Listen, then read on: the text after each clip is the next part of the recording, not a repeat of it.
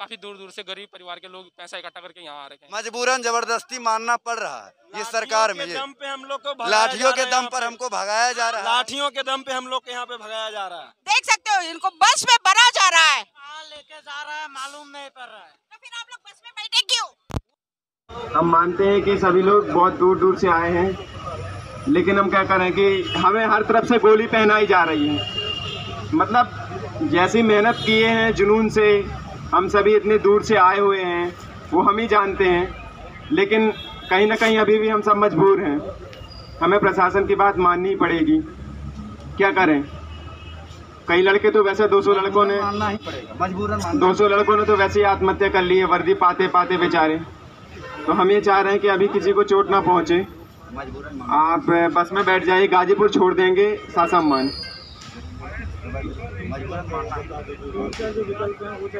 हमारे पास वही विकल्प है कि जो नहीं बैठते, बैठाएँगे, घुमाएँगे, फिर छोड़ देंगे, कहीं भी।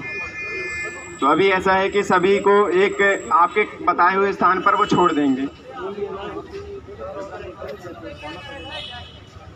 हाँ गाजीपुर बॉर्डर का है। गाजीपुर छोड़ देंगे सभी को। भाई गाजीपुर मतलब किसान आंदोलन? अरे हम भी तो सवाल कर रहे हैं। हम सवाल कर रहे हैं आपसे। क्या गाजीपुर मतलब किसान आंदोलन? देखिए मैडम मैं आपको बताना चाहता आपका नाम? प्रदीप। कहाँ से हो आप? जबलपुर मध्य प्रदेश। हाँ आप कैंडिडेट हो? हाँ मैं एस एस कैंडिडेट हूँ। सबसे पहली बात कि यहाँ पर हमारे लिए कहीं रहने का प्रावधान ही नहीं। है। यदि आपका कहीं रहने का प्रावधान या किसी न्यूज़ चैनल या किसी का भी हो तो हम कहीं भी रुक जाएँगे। हम मजबूरी बस ऐसा काम कर रहे हैं, क्या बोले हम भी?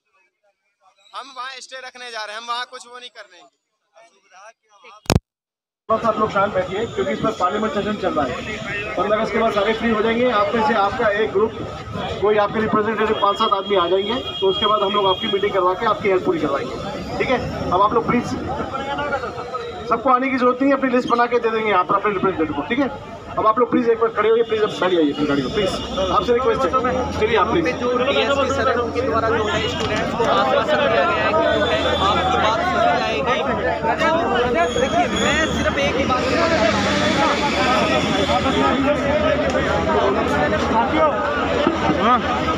हेलो हाँ एक सेकंड एक सेकंड सब लोग बैठ जाओ भाई सुन लो। देखिए अभी पार्लियामेंट सीट एसएचओ साहब अजय सर ने अभी हमें लोगों को वादा किया है कि 15 15 अगस्त गणतंत्र दिवस है और स्वतंत्र दिवस है। उस दिन के बाद हम लोग पार्लियामेंट सीट पर जो हमारी दिल्ली की टीम है वो आके सर से मुलाकात करेगी 15 से पहले ही मुलाकात करेगी। और सर ने जो अभी वादा किया है ये सर, आप अपने वादे पे अगर मुकर रहेंगे तो हम लोग यहाँ से उठ के अभी जाने को तैयार हैं। पंद्रह तारीख को अगर हमारी सीनियर ऑफिशियल से रेल, होम मिनिस्ट्री में अगर मुलाकात होती है, ज्ञापन देना नहीं, सिर्फ़ ज्ञापन देना नहीं, मुलाकात हम लोग बात कर रहे हैं। अगर उसके लिए सर एग्री है, दिल्ली पुलिस रेट एग्री है कि हमारी मुलाकात कराई जाएगी तो हम लोग यहाँ से उठने को तैयार हैं। नहीं तो हम लोग यहीं बैठेंगे और यहीं डिटेंशन देंगे अपना। सर से एक बार sir excuse me one minute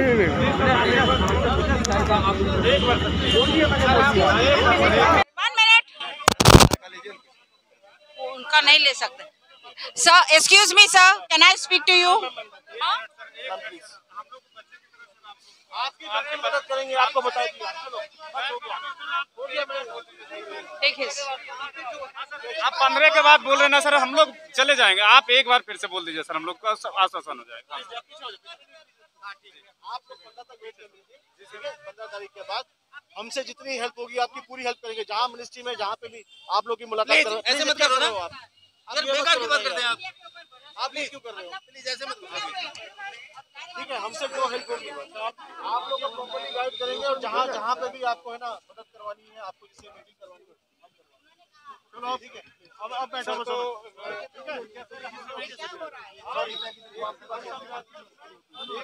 ठीक है? लो ये लो के लिए तैयार है? यही गो। अच्छा नमस्कार। आप लोग अभी जाने के लिए बोल रहे हैं। आप लोग क्या करने वाले हैं? आपका नाम? बलराम उराव है असम से हैं। हम यहाँ हम लोग से आप लोग क्या करने वाले हैं अभी? जाने के लिए बोल रहे हैं यहाँ से। हम लोग तो यहाँ ठहरने होगा अभी कुछ देर। आप क्या बोल रहे हैं मैं समझा नहीं मैडम। अभी जाने के लिए बोल रहा आप एसीसी? हम जाने को तैयार नहीं है मैडम। जाने को तैयार नहीं हो। इसके बाद इसके बाद थोड़ी ना ये भीड़ इकट्ठा होगी। लोग काफ़ी दूर दूर से गरीब परिवार के लोग पैसा इकट्ठा करके यहाँ आ रखे हैं। अगर ये भीड़ आज यहाँ पे ख़त्म हो जाती है तो ये ये बंदे सारे घर चले जाएँगे। इसके बाद नहीं होगा ये कुछ। आप एसीसी जी मैम आप जाने के लिए कह रहे हैं? नो मैम हाँ? नो आपका नाम? रिंकू. आप एसीसी जी सर जी मैम पुरुषोत्तम त्रिवेदी. जाने के लिए कह रहे हैं। आपका क्या राय है? मैं नहीं जाऊँगा यहाँ से. बार बार कहाँ आ पाएँगे बार बार कहाँ जा पाएँगे? बहुत मुश्किल से आ पाते हैं यहाँ यहाँ पे. बहुत खर्चा होता है. हम पिथौरागढ़ उत्तराखंड पिथौरागढ़ से बॉर्डर लास्ट बॉर्डर उसके बाद चाइना बॉर्डर लग जाता है। वहाँ से हम यहाँ पहुँच रखे हैं कल 800 किलोमीटर। कैसे चले जाएँ अभी?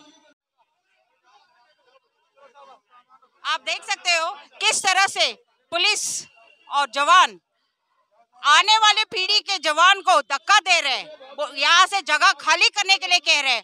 और देख सकते हो, यहाँ पर जो बस आई हुई है, यानी ये this is all pre planned pre plan हुआ है। ये बस में लोडिंग हो रही है इनका। मैं लोडिंग यूज़ करूँ शब्द। बस में बच्चों को बिठाया जा रहा है कि आप जाओ यहाँ से।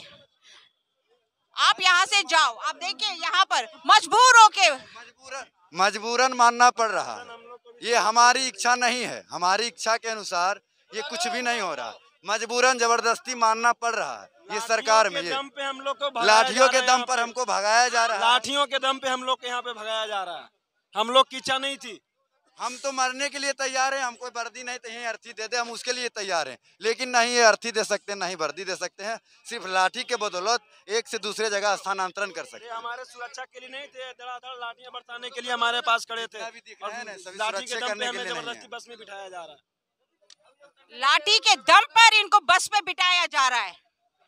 ये है आज का देश का जो ज्वाइनिंग लेटर को लेकर 2018 का स्टूडेंट आज ज्वाइनिंग लेटर को लेकर आज उनकी दुविधा देखे क्या हो गया है। एक तरफ़ आप देख सकते हो यूनिफॉर्म्ड यूनिफॉर्म्ड पीपल कैमरा उधर घुमाओ क्या हो गया बेटा? क्या मैम कहे? बोलो बोलो बोलो बोलो बोलो। सरकार को देख लिए कितना सरकार क्या कर रही है? और भरोसा तो बोलती है कि मेरा भरोसा डिफेंस है। छोड़िए अब। अगर सरकार सीआरपीएफ पुलिस यहाँ पर तैनात कर सकते हैं, उनके लिए, उनको ज्वाइनिंग लेटर नहीं मिलता है। आप देख सकते हो, इनको बस में भरा जा रहा है। आप देख सकते हो, पुलिस पूरी खड़ी हुई है यहाँ पर। सारे देख रहे हैं। सरकार के पास पैसे है। सरकार के पास पैसा है। सीआरपीएफ खड़ा कर सकते हैं। पुलिस फोर्स खड़े कर सकते हैं। लेकिन बच्चों को देखो किस तरह से बस में बिठाया जा रहा है। मैडम आपको कहा लेके जाया जा रहा है?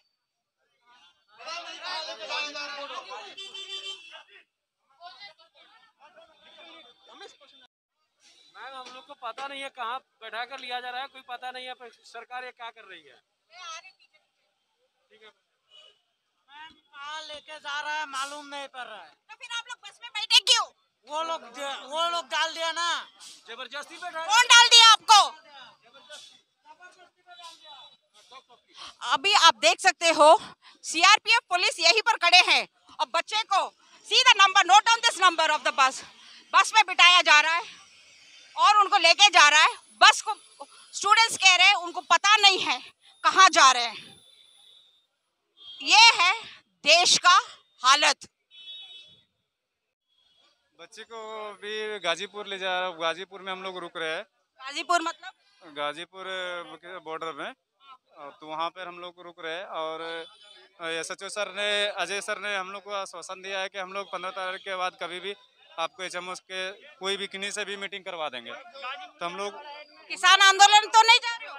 नहीं किसान आंदोलन में नहीं हम लोग को सिर्फ़ रुकना है इसीलिए हम लोग करना।